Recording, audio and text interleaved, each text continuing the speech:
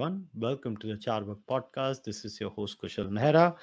All right, today's ta- podcast is titled Making Sense Out of the Chaos in Pakistan. And to make sense out of it with us is Dr. Mohammad Taqi. Dr. Saab, podcast पे आने लिए बहुत बहुत शुक्रिया. Uh, thank you, Kushal. Thank you for having me. Really appreciate it. So, so Dr. Taqi, this is your first time on the Charvak podcast. So, my request to you is, for the benefit of uh, my viewers and listeners, could you tell everybody a little bit about yourself? Uh, sure, certainly. Um, my name is uh, Mohammad Taqi. Um, I'm a medical doctor by profession, uh, but I've had a long association with the uh, progressive uh, leftist uh, and Pashtun nationalist politics in Pakistan, um, almost going back to my childhood or uh, early adolescent uh, years. Uh, and I'm a columnist as well. I used to write for Daily Times Pakistan, a national daily, and then currently I'm writing for The Wire India, one of the leading Indian portals. Um, and I uh, watch uh, happenings in Pakistan, uh, even though I'm based in Florida currently. All right, awesome. So, Dr. Taqi, as I was telling you offline, I I wanted to structure our chat where maybe we get back into the history of Pakistani politics. So, I'm going to be starting in a way that I'll request you to begin with let's let's explain the political landscape of Pakistan from a historical perspective. Obviously, when I'm saying from a historical perspective right now because there is uh, Imran Khan oh, as the prime minister or the Pakistani Tehreek-e-Insaf, but maybe what was the political history of Pakistan? Who are the main players, and who is uh, what is Pakistani uh, Pakistan Tehreek-e-Insaf, and how does it come in, and what it does to the uh, political landscape of Pakistan? Maybe we can start there. Sure. Um, so, so uh, just uh, as of today, what is happening uh, right now is uh, a constitutional uh, chaos in Pakistan. And uh, unfortunately, uh, uh, this is our 75th year uh, after uh, independence, and so is India's.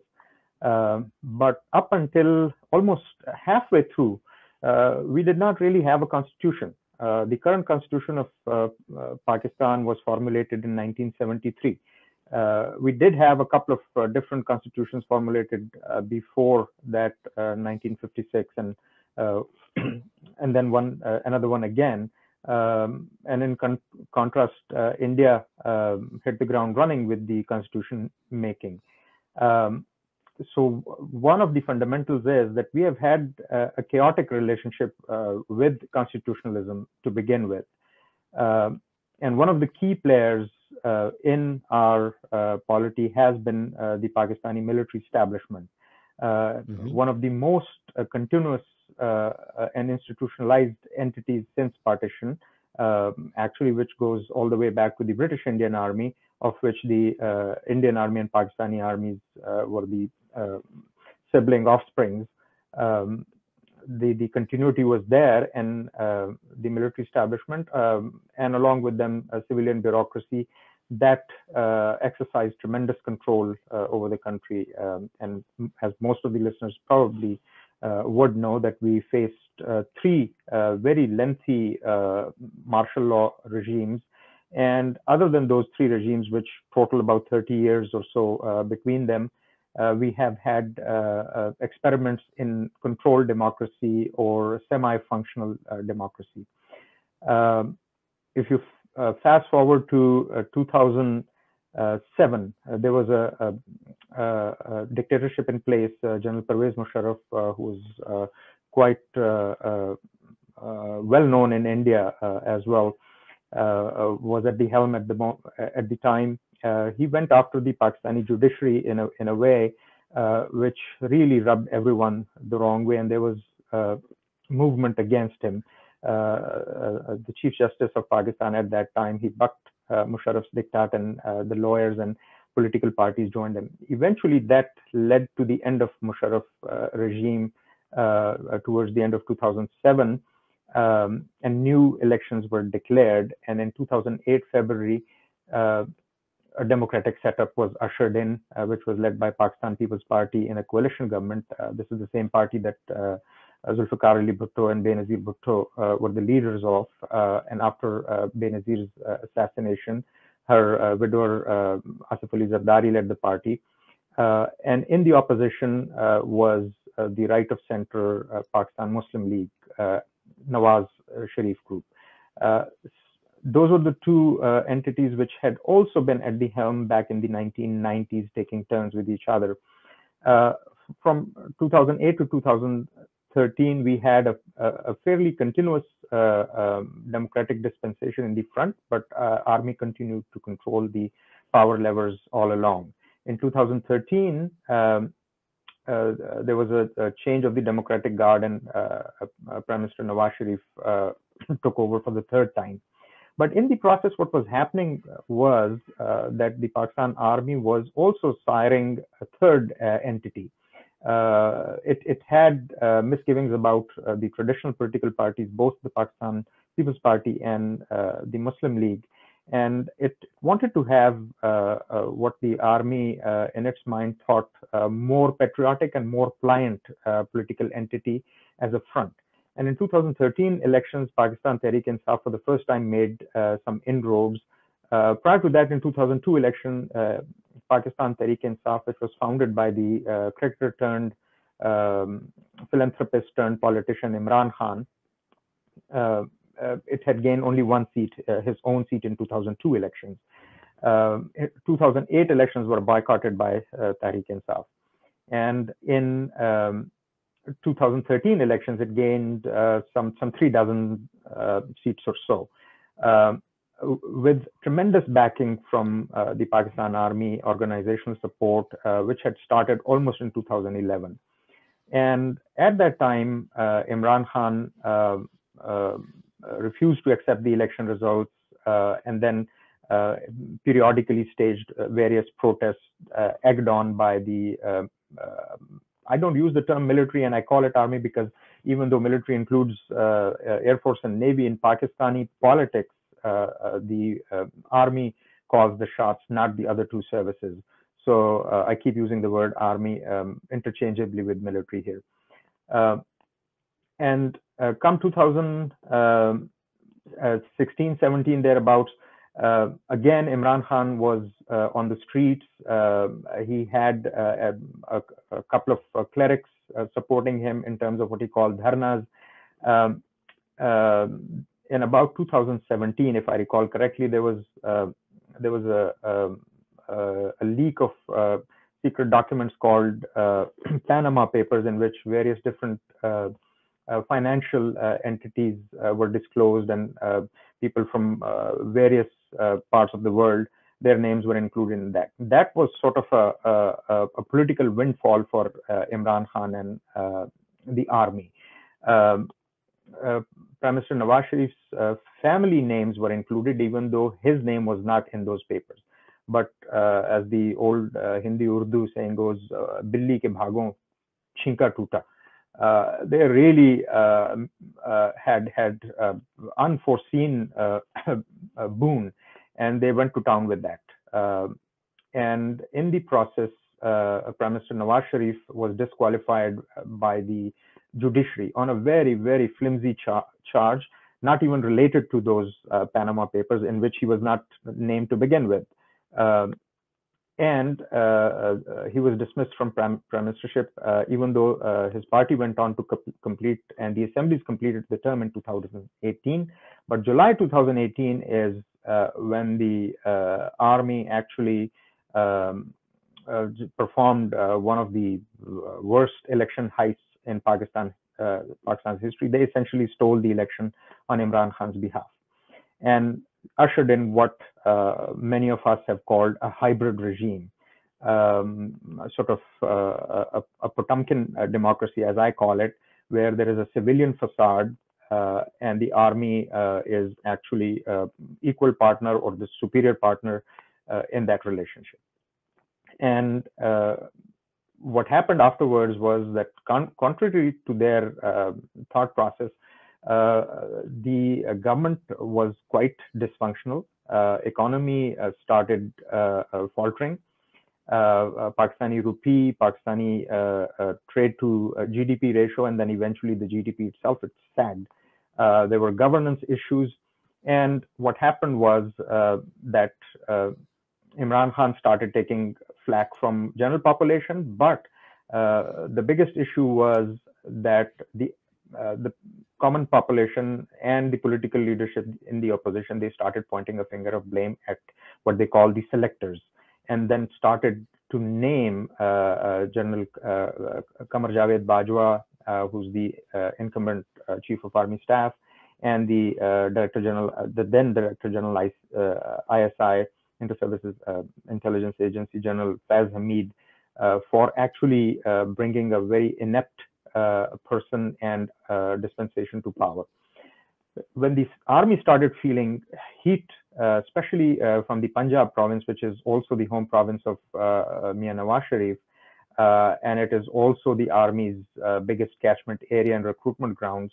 Uh, it, it got worried about its image, not about the reality, but about the image, which has been an issue with our army for a very, very long time. Uh, things could be bad, but if they are not perceived to be bad, they might be okay with it. Uh, but this time around, since they were being directly challenged uh, uh on their home turf, um, they they started uh, thinking about actually ditching that project.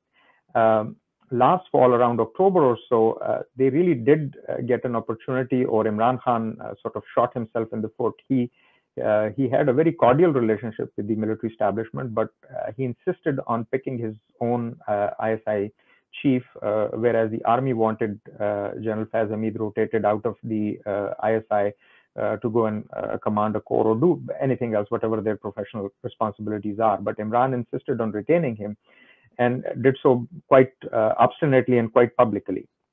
What happened then was uh, that it uh, this feud sort of uh, broke out uh, into the open, and army refused to oblige Imran. they wanted, even though it is inter-services intelligence agency, which theoretically could include Air Force or uh, a Navy person as in charge, or even a civilian one, because in, in theory it is under the Prime Minister. Uh, the convention has been that uh, it is headed by an army man, uh, except once where a retired army chief, a retired army general was appointed as its director back in 1988-89 by Benazir Bhutto. Uh, there's one, probably the only exception. So army uh, insisted that uh, if it is going to be their man, it has to be their choice. Um, and that's when things started really getting bad. Um, army sort of signaled that they're going to stay neutral uh, in the political process from there on out. Uh, now they had they had uh, propped up, brought in and propped up Imran Khan for three and a half years. Uh, they have managed uh, the media for him. They had managed the uh, judiciary for him. They had managed the opposition parties for him. now left to fend for himself, he he was not doing very well, and the opposition parties were um, gradually getting their ducks in a row, and uh, decided to bring about a no confidence motion against him because Imran uh, and his party had a plurality in the parliament, but not a simple uh, majority. And they were ruling with the help of a couple of coalition partners. Um, and then they had a bunch of uh, their own MPs who were disgruntled with them. So a few weeks ago, the opposition finally brought about a no confidence move. Uh, and uh, they did have the numbers and some of uh, Imran Khan's own uh, uh partisans. Uh, they very publicly parted ways with him and said that they are going to side with the opposition and vote against him. Now, faced with this kind of imminent de defeat, what he did on Sunday was that he used his speaker and deputy speaker, his his own partisans and very much his minions, to actually stonewall uh, the voting on uh, no confidence move, even though the resolution uh, had been moved a week prior and was set for voting that day and invoked a very vague clause of the constitution article 5 which basically says that every citizen of pakistan will be loyal to the state and uh, and then they spun uh, a huge uh, conspiracy theory that the United States was uh, threatening Imran Khan, and somehow the opposition was in cahoots with the United States, and therefore this uh, um, no confidence move was a malicious uh, uh one with uh, malafide intentions and could not be voted upon, uh, and they stopped the opposition from voting on it. Thereafter, immediately, Imran Khan sent an advice to the prime minister. Again, one of his minions, not the prime minister, the president, Arif Alvi, who's also his partisan, to dissolve the assembly. Now, as the constitution of Pakistan is written and stands, a prime minister who's faced with a no confidence move uh, cannot dissolve the parliament. He has uh, many other executive uh, powers, but as the parliamentary uh, uh, convention and the written constitution goes, he simply just cannot do that. But they went ahead and did it nonetheless. The uh, assemblies were dissolved by the um, president who then also notified that Imran will stay as uh, an interim uh, type of uh, prime minister and uh, then a caretaker setup will be ushered in. Uh, on, on, Sunday, uh, the Supreme Court of Pakistan took cognizance of the issue on its own, a suo motu power that it has under constitutional authority, but did not adjudicate the case swiftly. It decided to push it to the next day and then again till today and uh, as as of uh, the last couple of hours it uh, has still not decided the case the opposition parties also approached the court uh, and the court has uh, put it off till tomorrow and uh, who knows until further so this is sort of the state of affairs and affairs of the state um, as of tuesday afternoon and night in pakistan so this is fascinating. So, so the things that I gather in this is that obviously, as far as um, my understanding as an outsider looking at this, as you were explaining, is that the army plays a significant role in the future, present, and past of Pakistan,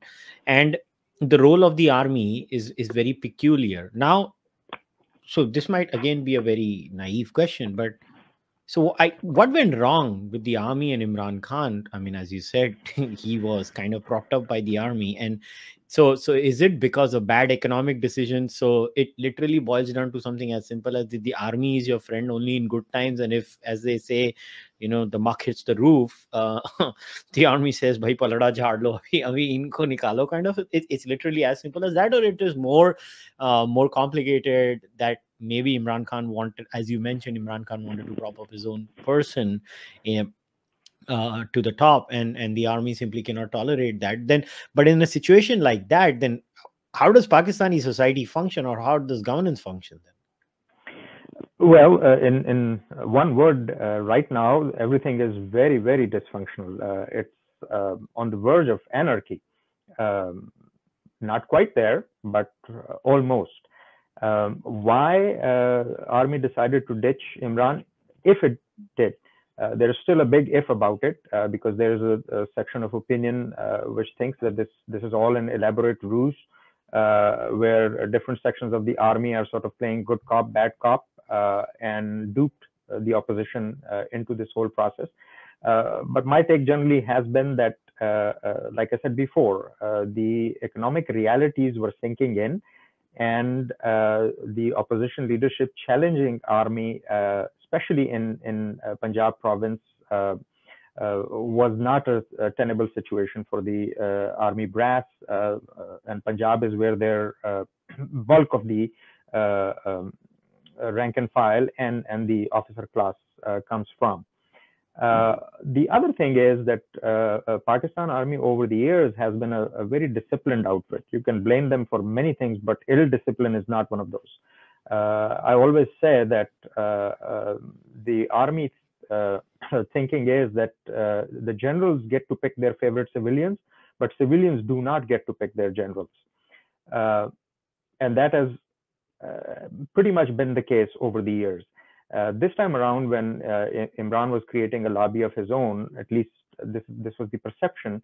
Uh, um, sections of the brass and the general staff did not like that part, and um, essentially gave him a rap on the knuckles, but he would not back off from that.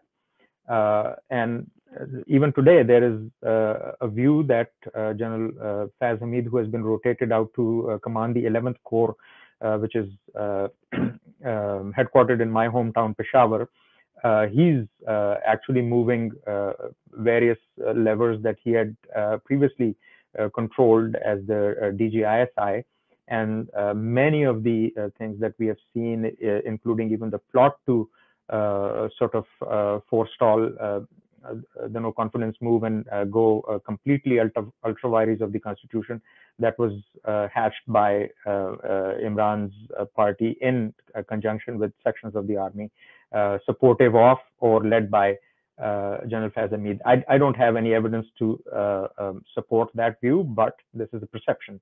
Uh, my my view is still that uh, um, army um, decided to become uh, uh, become neutral as it claimed, but technically you can't be neutral if you were holding a building together with the scaffolding and everything else, and you decide to take that away. This is not neutrality. You are essentially inducing the building to fall. I called it a controlled demolition that army had tried this hybrid experiment and, and they have in the past also uh, whenever they uh, get an egg on their face uh, uh they bring in the civilians to uh, uh, clean their mess and in fact always look for a fall guy so imran was supposed to be a fall guy but knowing imran khan to an extent personally as well and obviously he has been in the public eye for the last 40 years um, he he's uh, quite a stubborn person, and uh, some of this was was expected. Uh, that he would go to the uh, um, extreme unconstitutional uh, um, side of the things, that is a bit of a, a, a shocking uh, or surprising. But then again, you know, this is a person who um, is almost a neo-fascist in his thinking a new, uh, a born again uh, Muslim who uh, keeps harping back to the seventh century type of state model uh, where the emirs uh, ruled uh, semi religious type of entities. this is not totally unexpected, even though it is quite shocking. Now that's very interesting that you you say so is the role Imran Khan playing, as you said, of this new born again uh, religious person, is it more of a requirement because that's a reflection? Otherwise, you don't get politically elected, or it's a genuine change, or it's a bit of both? I I got a chance to see Imran Khan uh, fairly closely back uh, in 2006 and 7 during the lawyers uh, movement. I was involved with that, and uh, he was part of that. And uh, I sort of felt that uh, it is um, religious exhibitionism uh, that uh, Imran is using, like many others uh, in the past, uh, for political purposes. There may have been uh, some change of heart where he went from a, a, a playboy who one time was hanging out with um, in, Indian movie stars and British socialites, going towards rosary bead in his hands and uh, a prayer mat uh, under the arm. Um, but the public display of religion, the way he has done, uh, that is definitely a political use of religion. And in his views also, uh, he he has been very uh, supportive of uh, the, for example, the Taliban narrative over the years. in fact, he was dubbed Taliban Khan by his opponents, including myself.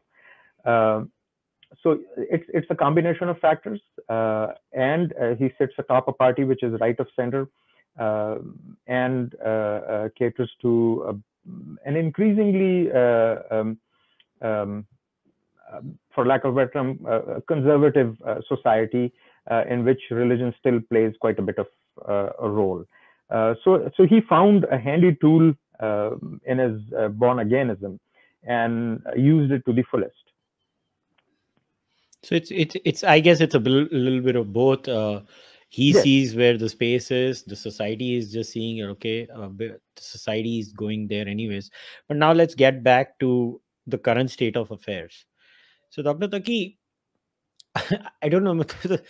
मैं जब आपसे सुन रहा हूँ कि he if he is clearly in violation of the constitutional procedure that has been set in in Pakistan. Uh, what hope does the opposition have then as of now because if from whatever i've understood as of now if the vote would have gone through the opposition would have had the numbers right if yes. the vote would have gone through yes they they, they had 196 or 197 present and uh, let me uh, clarify that uh, there is another rule uh, um, to run the national assembly in which there is a panel of speakers Uh, and mm-hmm. when mm-hmm. Imran Khan's man, a deputy speaker, when he left uh, um, after uh, proroguing the session, uh, one member of the opposition from that panel of speakers, he actually uh, got on the uh, dais and he presided over a session, and the opposition went ahead and did vote or um, complete voting on that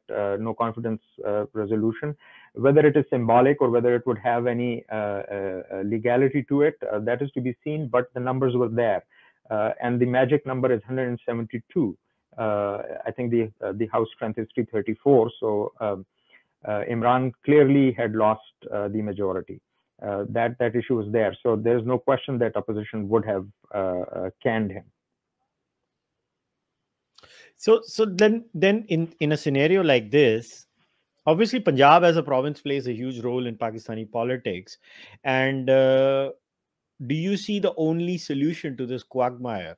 Because it is nothing less than a quagmire because i mean as you said the courts are going to rule whatever they are going to rule.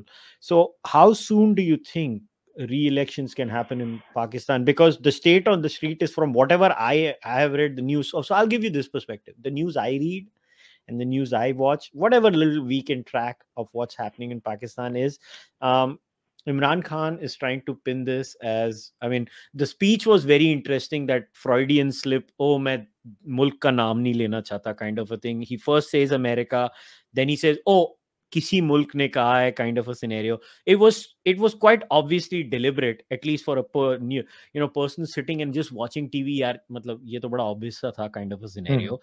But now he's like there is this trope in in pakistani politics and pakistani society right? I mean anti-americanism how, how much does anti-americanism sell in the average pakistani? Because he's clearly trying to you know get the people on the street and create some sort of uh, civil chaos. So so what are the probabilities of then pakistan just delving into civil war in that sense Yes, I mean, uh, we, we can have another discussion about anti-Americanism in Pakistan. It went from uh, uh being being the pet project of uh, the leftist uh, political entities, of, of which I was a partisan once.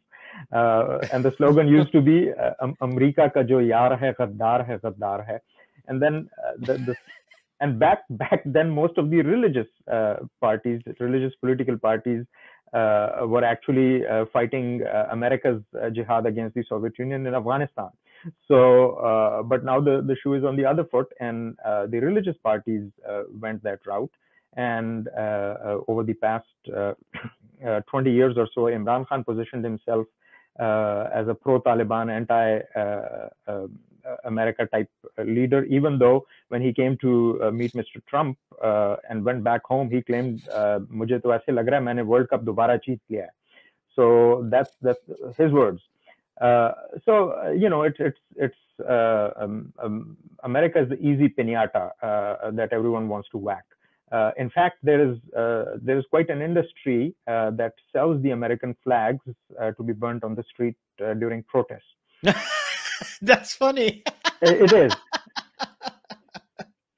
भाई America का झंडा इतनी आसानी से कैसे मिल जाता है कि पेशावर लाहौर किसी भी सड़क पे उसको लाके जला दो? तो वो कहीं तो बन रहा है जिसको लाके तो New York Times actually did a story on that once there there are few peddlers so yes it is it is something which is which fits well with the right wing populism uh, and Imran is a, is a demagogue, uh, clearly in the mold of uh, fascist type leaders in the past.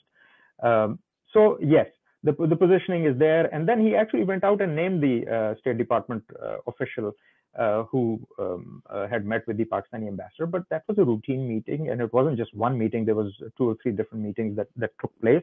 Uh, America probably did express uh, its its concerns uh, about Imran's position on various different things, and and that silly move going to Russia on the eve of Ukrainian invasion that did not go well with anybody. so that was there, but you know, if if if the United States was was going to threaten uh, um, regime change or toppling him, they would not use uh, like a level three or four State Department functionary to convey that kind of message. Uh, we all remember Richard Armitage uh, um, uh, and, and Colin Powell making the phone call to Pervez Musharraf. Imran is not half as powerful as Pervez Musharraf was at that time. So if America wanted to do it, they, they would have done it. I, I, don't put it beyond that. There have been uh, uh, regime changes in the world from Mossadegh onwards to attempts to uh, get rid of Fidel Castro, but uh, this is not, not how they go about doing it. Uh, this was a very easy uh, um, route that Imran took and basically pinned it on the opposition.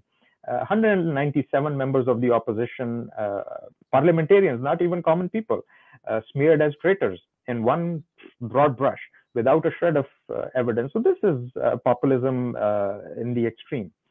Um, and, and he uh, is almost um, uh, getting away with it. Your question was what would the, the courts do or could do?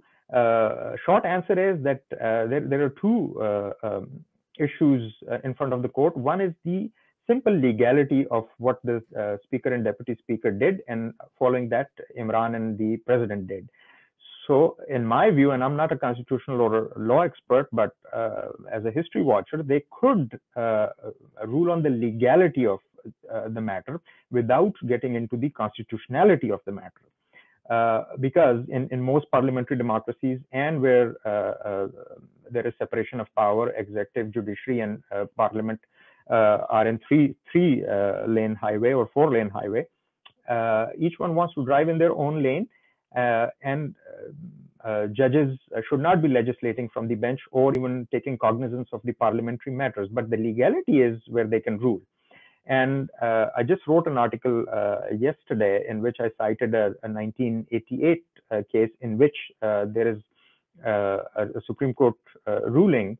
The the 1988 assemblies in Pakistan uh, were dissolved by uh, General Ziaul Haq. Back then, there was a, a, a law on the book uh, called the Article 58.2b, under which the president could dissolve the assemblies. But uh, even uh, then, the court ruled that as illegal, th though they allowed for the new elections to go through for very peculiar and very circumspect uh, reasons. But a focused opinion, Thavo. The way it, it, transpired was that Zia dissolved the assembly somewhere in May 1988. Uh, then he perished in the air crash in August 1988.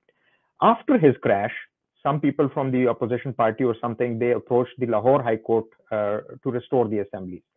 Uh, and the assemblies apparently were restored. Uh, the federation went into appeal in, in October or so. The next election was slotted for November 1988. And uh, um, Zia's assemblies were non-partisan assemblies. He had done a apolitical type of assembly, and the next election was going to be a multi-party uh, election. And uh, the Supreme Court held this view that even though his action was illegal, and we acknowledge that, we are not going to reverse the process because the country is moving from martial law to democracy and from from a, a partyless national assembly towards multi-party uh, democracy. So very peculiar circumstances, but it did happen that it was on the book. Then once again in 1993, uh, Nawaz Sharif was dismissed by the then President Ghulam Ishaq Khan, and the assemblies were restored, uh, and and the decision was declared uh, illegal. Uh, after the restoration, uh, uh, Nawaz Sharif and Ghulam Ishaq Khan they locked horns, and the army chief jumped in and got rid of both of them at that time. So there are legal precedents which can be followed. Uh, now as, uh, as a narrative uh, is being built among the media and, and many people that well too much water has flown under the bridge since Sunday. अरे भाई 48 घंटे नहीं हुए उसको अभी तो स्याही नहीं खुश्क हुई उसकी so court still has a lot of uh, uh, room to uh, decide upon it, at least on the legality of it, and declare it null and void ab initio, restore status को anti जो कि Sunday morning को जो कुछ था वहां से दोबारा उसको शुरू करें उसमें जो प्रॉब्लम है विच आई four C is that if Imran has strong backers uh, they have probably given assurances to him and perhaps even the judges if they were to give it uh, some manner of uh, a legal cover. Uh, because if they don't, then what he has done uh, is not just illegal, it could actually fall under uh, subverting the constitution for which a high treason charge could be brought against them. and that by itself would be a very very ominous development. So I I, I have a feeling that the, the court might decide to take that 1988 route where they find a via media that what is done is done. Let's move forward. Uh, but even then, they are not moving very swiftly. I mean, uh, almost uh, 72 uh, hours on, uh, they still have not decided, though they do have the power to do it. And another thing they did not do was opposition parties requested um, uh, that um, um, you should for, um, uh, form a full bench of the court. But they went with a five member bench in which one of the uh, second senior most judges is not included because he's considered uh, uh, um, quite a bit of an independent mind and uh, not someone who toes the establishments, military establishments, or the judicial establishments line. So that's kind of where we stand now. So that's very interesting. So in a scenario like this, I remember you had written, uh, I think 27 November को आपने लिखा था नवाज शरीफ वाला if I remember. You know you had written then so what's happening? So so I'm keen. So where does this leave Nawaz Sharif or the political outfit? And like what's his future then in in this uh, entire fiasco if I was to call it one? Yeah i mean fiasco I, I, think we'll have to come up with a new term for whatever is happening there. Uh, this is you know the kind of sorry for lack of a better term the charlie foxtrot uh, this is uh, insane uh, really it is insane uh, people uh, ask us भाई आपका तो prediction गलत हो गया अरे भाई prediction जो है वो कुछ कानून आइन के मुताबिक किया जाता है कुछ रैशनैलिटी फैक्टर होती है you know someone decided to go and completely illegal it's so going to uh, Nawaz Sharif uh, I think within the opposition there have been two views all along. Uh, Nawaz Sharif's view uh, has been uh, that uh, you have to energize your base mobilize the street build a narrative that goes after both Imran Khan and his army patrons. Uh, but within his own party and in other political parties, for example, within his own party, his younger brother Shahbaz Sharif, who's the former uh, chief minister of Punjab and aspirant for uh, uh prime minister at this time, uh, he's of the view that no, we need to do it the old-fashioned way, where we sort of allay the army's fears. Okay, there won't be any repercussion against the generals. If we come to power, we would respect whatever your domain is and you give us a little bit of wiggle room and uh, we can uh, move on and not uh, um, go back to the 2018 time um, where where we were at loggerheads. Uh, similarly, Pakistan People's Party, uh, uh, led by Asif Ali Zardari, his view is very similar to Shahbaz Sharif, and they have been the the two who had actually put together this no confidence move and sort of sought and received assurance from the army that it would remain neutral. So opposition has a chance, but uh, for a political narrative, uh, you have to have matching political legwork, uh, organizational legwork, street mobilization. that is still lacking. Um, after 48 hours, you have not heard a lot of clarity from uh, um, Nawaz Sharif's party, for example, even though in, in uh, People's Party, Benazir's son, uh, Bilawal Bhutto, he came out quite clearly and uh, I like his opinion uh, when asked that if Supreme Court decides uh, to go to to the elections, that you should go to the elections. What is your? He was. this is such a flagrant disregard of the Constitution and such gross illegality that uh, there is no way that uh, Supreme Court won't undo this. So you know there has to be a, a, a manner of uh, moral pressure that needs to be on the Supreme Court as well that if you if you do something like this and leave this uh, mutation uh, uh and uh, virulence in the body politic in the constitutional history without undoing it, you know this uh, this poison will remain. Um, so opposition has to really um, sort of come out of its slumber. my own view is that Nawaz Sharif cannot remain out of this situation. He will have to um, make himself heard. Uh, he can probably not just let his brother do the uh, hobnobbing type of politics that he has been doing. Uh, clearly, um, it has not worked. Um, and we are we are uh, in a situation where the opposition is is in quite a pickle. Imran uh, thinks that he has um, succeeded and can actually get away with it. So, but as far as uh, I have understood, or whatever little I've understood, is like Nawaz Sharif has gone, his relations have in a way gone sour with the armed forces. So, the armed forces of Pakistan, this is what I'm not able to understand. Like, they things went sour with Nawaz Sharif, they prop up Imran Khan. now things go sour with Imran Khan. Who the hell are they going to prop up then? Because they, they they they went sour with him, Nawaz Sharif too, right? Yes. So, and uh, this this is uh, sort of uh, back to the future or uh, back to the history. Uh, back in back in 1990s, we had this kind of situation, and it was called the uh, political musical chairs. back then, Pakistan Army thought, not thought, said that uh, Benazir Bhutto is the security risk because she's a, a secular, liberal, pop- popular leader who's soft on India uh, those kind of things. And uh, Nawaz Sharif back then was uh, their their favorite man. Uh, and when Benazir was uh, uh, toppled in 1989, early early 1990, I, I think, just about two years in the office, Nawaz Sharif replaced her. Then Nawaz Sharif locked on with the then president, and army got rid of him. then Nawaz Sharif after that developed this streak where he wanted to assert uh, civilian uh, preeminence and has been fairly consistent in that. Uh, in his uh, second term, uh, I believe it was the second term when he got into the office 1997 and in 1999 uh, Kargil happens and after that he fires Musharraf and Musharraf stages the coup. So there's a lot of bad blood, but then again, you know, these these are the players on the chessboard army could not wish them away. Uh, Nawaz Sharif ran uh, a pretty reasonably functioning uh, government. The economy was doing fairly well, if not uh, really, um, you know, um, jumping leaps and bounds. Uh, but uh, inflation was was low. GDP was above five and a half or six. Um, dollar um, dollar to rupee parity was holding steady. Uh, pe people uh, were relatively uh, prosperous at that time.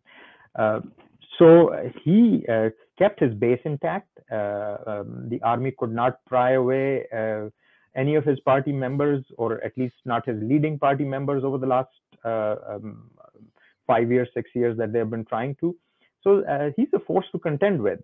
Uh, now, uh, the flip side is that uh, he sits atop a, a, party which has a, a, a, large urban base, following in the uh, mercantile and trader class and so on, and not exactly a revolutionary party or not even a populist party, so to speak. Uh, so mobilizing the street was not quite the thing that they were used to doing, even though they did it fairly successfully, especially his daughter, who's uh, quite a crowd puller. Uh, and also uh, went she also went after the uh, the junta all guns blazing and and really got accolades for that um, so they could pull it off but then you know, uh, to to an extent, they have uh, pressures from within their party, other constraints.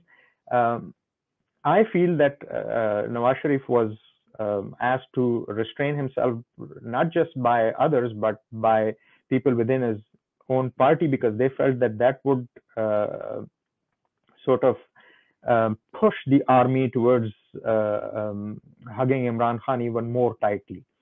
Uh, and army might not be willing to let go of uh, this hybrid project at all. Uh, but then now uh, we are we are in in a different territory compared to where we were back when Nawaz Sharif was naming names, not too far from um, Bajwa's General Bajwa's hometown. Uh, so I, I, think some something of that sort would would have to come back. Uh, this all um, good cop routine is probably not going to work for uh, the opposition. They they have to uh, uh, put uh, army judiciary on notice that if this morass is not resolved and cleaned up swiftly, uh, there there is going to be a mobilization and uh, you know political process people uh, always keep talking about everything in the parliament you went to the parliament and where you're being stonewalled and, and somebody does something like this. Actually, uh, one of the um, uh, Sindh High Court Bar Association president said in the Supreme Court today that the last instance where they found where a speaker disallowed or would not let voting on a no confidence motion was in 1993 uh, Germany. So, so we are we are uh, in the Nazi territory right now. Uh, this is this is dangerous stuff. Um, so opposition will have to uh, uh, enunciate and, and formulate its, its, narrative clearly, but then also back it up with political legwork. There's no shortcut to political proficiency.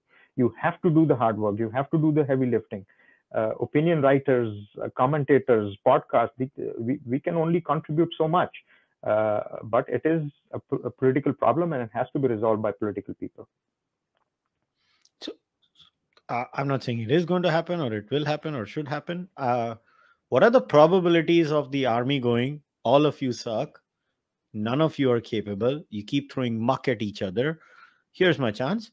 I'm taking over again, literally. I, I think uh, if if they could do something like that, they would have done it by now. Um, it does seem that uh, they are restrained not just uh, because they don't want to do it. Uh, right now, the situation is that uh, they have uh, they have already faced a lot of flack inside, especially in Punjab. I keep saying Punjab because that uh, army is Punjab. Punjab is the army um, for all practical purposes. Indeed, there are uh, many Pashtuns and now some other sections as well, but that's where where the, the, the the real recruitment area is. Um, the international situation, the way it is, uh, is, is probably not conducive to a martial law. Pakistan is uh, on a IMF uh, lifeline. Uh, it has very um, uh, precarious relations, even with its former patrons, uh, such as Saudi Arabia. Saudi Arabia gave Pakistan a, a, a billion dollar or three dollar facility on extremely tight terms, almost insulting terms. Uh, so there are power levers around the world which could be pushed if uh, it is um, uh, it is seen that there is an overt naked martial law. And I and I think that's why they designed this hybrid regime that martial laws um, at, at the present time in 21st century, third decade, probably not possible. It it it can happen. Uh, never say never again, but uh, seems unlikely seems unlikely if if there is a street chaos that kind of situation arises yes there is a potential for a for a limited type of intervention that one can imagine but uh, overtly coming in taking over and especially an army chief doing it, uh, it uh, in his second term when he's uh, on um, on an extension already has already been smeared i mean uh, he has been publicly called names names in the pro protest that had uh, that had not happened before. I've watched uh, uh, politics since Ziaul Haq's time. Ziaul Haq and Musharraf uh, उनको गाली पड़ती थी लेकिन वो तो martial law administrator थे open dictators थे army chiefs uh, were scolded but not the, the way Bajwa has has faced. Uh, this is probably the first time a sitting army chief uh, was scolded like that by common people in Punjab. और जगह पे तो होता था लेकिन पंजाब में this was a new thing. So I, I think there are factors, uh, and going back to that uh, that uh, theory about image and reality, Army does uh, um, get very concerned about its uh, its image. My feeling is that they won't do it. Can they do it? Yes, they have the wherewithal to do it with, in a heartbeat. Uh, and, and, probably there might not be a, a whole lot of protests instantly, but it in the short term, medium term, long range, it, it's going to be disastrous for them and the country.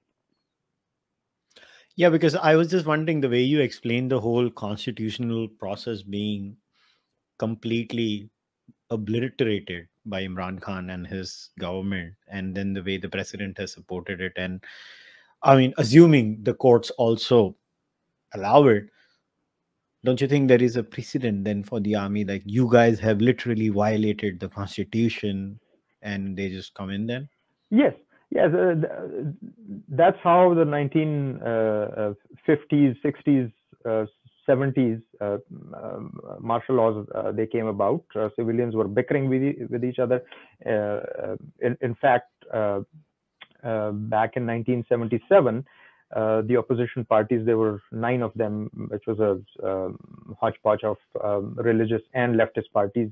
They were uh, protesting against uh, Zulfikar Ali Bhutto. Uh, Zulfikar Ali Bhutto had tried uh, quite illegally uh, and toppled two elected governments of National Awami Party, which was a socialist leftist party in Balochistan, and back then it was called Northwest Frontier, the present day Pashtunkhwa and formed uh, cases against the leadership, uh, treason cases, not quite unlike what is happening now. And the army eventually did intervene. Uh, but then again, ground realities were very different. Uh, this type of dynamic wasn't there. Right now, it, it is sort of a multiplayer chessboard. Uh, they, they can certainly make that move, uh, but there will be consequences for them. There will be domestic consequences, and there will be a lot of international consequences for them. And I and I think that they are cognizant of that uh, and and the restraint might not be out of the, the goodness of their heart, but because they are not able to sustain anything like that. So, on a lighter note, uh, Dr. Taqi, Imran Khan has been a real source of entertainment for a lot of people in Pakistan, whether they are his opponents or whether they are his supporters. So, yeah. Imran Khan ने बड़ी entertainment की है तो मतलब क्या withdrawal symptoms होने वाले अभी लोगों को? इमरान खान इज़ गोइंग देखें हम तो अमेरिका में बैठे हैं हमको तो ये दूसरा विड्रॉल होएगा ना पहले जो है वो प्रेसिडेंट ट्रंप की एंटरटेनमेंट बंद हो गई ट्विटर ने भी उसको बैन कर दिया। अब हमें ये दूसरा लॉस हो जाएगा तो कॉमिक रिलीफ कहाँ से मिलेगी? know, and uh, as, as, as, as a medical uh, professional, I always say medicine, laughter बहुत सारी दवाई बंद हो जाएगी लोगों की। Yeah because i was just looking at his you know entire trip of russia. Actually मैं आपको पूछना भूल गया so maybe this is my last question and we can wrap up uh, analyzing his trip. नहीं मतलब वो कर क्या रहे थे उधर? वो हो क्या रहा था उधर? मतलब मैं भी इंडिया में बैठ के मैं I was you know I always try to do this I I try to keep my Indian biases aside and I just look at it as a person मगर कोई भी आदमी उधर देखे कि भाई बंदा उधर गया है. हो रहा क्या किसी को समझ नहीं उठ रहा है वहाँ पे पुतिन भाई हमारे यूक्रेन में घुसी जा रहे हैं और ये उधर बैठ के शगुफे कर रहे हो रहा क्या था you see, uh, he in his mind he was trying to uh, emulate Zulfikar Ali Bhutto, and I think uh, this whole thing was uh, weighing uh, on his mind. Um, even though it, you asked it, it jocularly, but the reality is, he knows that he's an upstart.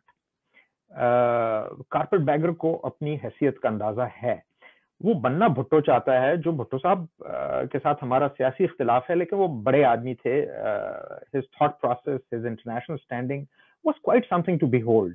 Uh, what Imran was trying to do was uh, look like an international leader when he uh, had problems at home. He wanted to look tall and big by standing on Putin's shoulders after he was spurned by uh, America, Biden was not calling him. Uh, even the Secretary of State was not calling uh, uh the foreign minister. And in fact, that's what that discussion was about, where the undersecretary or assistant secretary he met the uh, Pakistani ambassador. So that's what it was all about. And uh, even though it was in the air that the Russian invasion is imminent, in his infinite wisdom, he decided to go there and be seen as an accomplice or, or hanging on to Putin's coattail the night before.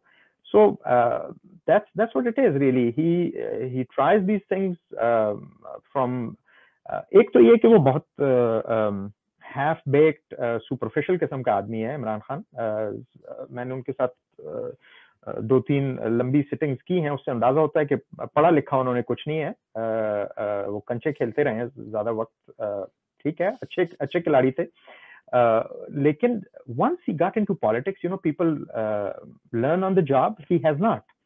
People develop some depth. He has not. Uh, any issue, you take it, and then he is so obsessed with himself. I mean, uh, he, the the, the uh, narcissism is uh, such that that after every speech, um, media actually counts the time that he said me, mine, I. uh, हर तकरीर के अंदर कोई 200 दफ़ा तो वो अपना ज़िक्र करते हैं। The man never says that and that started with the world cup and he the cup up never mention team once. It was all about him. तो वो दूल्हा दुल्हन बाजा बारात सब कुछ खुद बनना चाहते हैं। uh, मसला यही है।